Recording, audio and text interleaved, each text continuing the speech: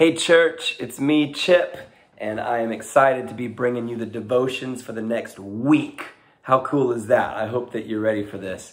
The theme that I have chosen is What If? I don't know if maybe you've come across the Marvel series, What If, where they just take a few of the famous Marvel characters as superheroes and they ask, what if it was this person instead of this person? What if they chose this decision instead of another and it would change the whole narrative?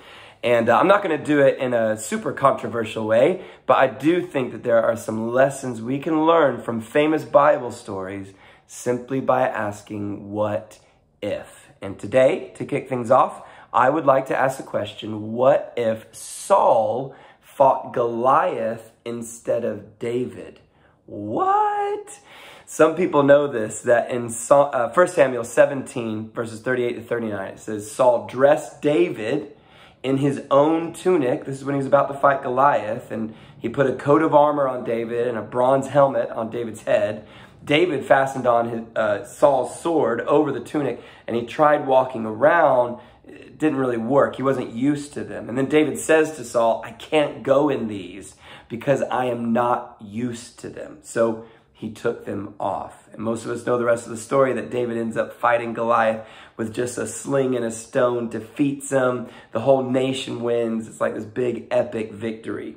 So why am I asking the question, what if Saul fought Goliath instead of David? Well, if you rewind back seven chapters to 1 Samuel 10, you actually discover that Saul is a giant. What?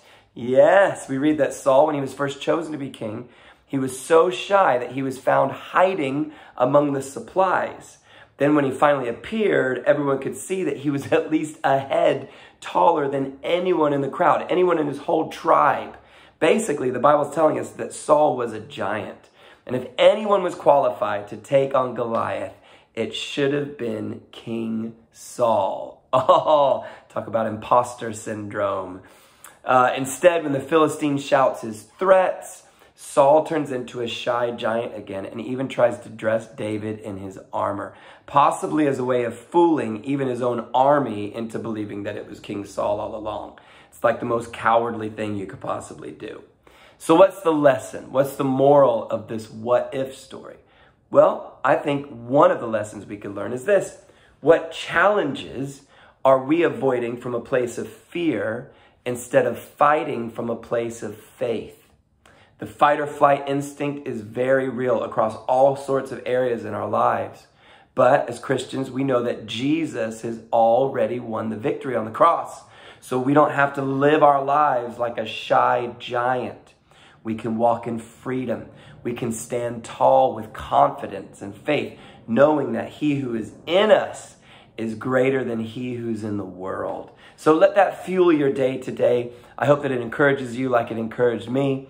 Uh, tomorrow, we are going to be looking at what if Lot's wife, you know, the one that turned into a pillar of salt for looking back at her old life, what if she didn't look back? What if she kept focus? God bless you guys. Have a really great day. Hope this is encouraging to you as it was for me as well.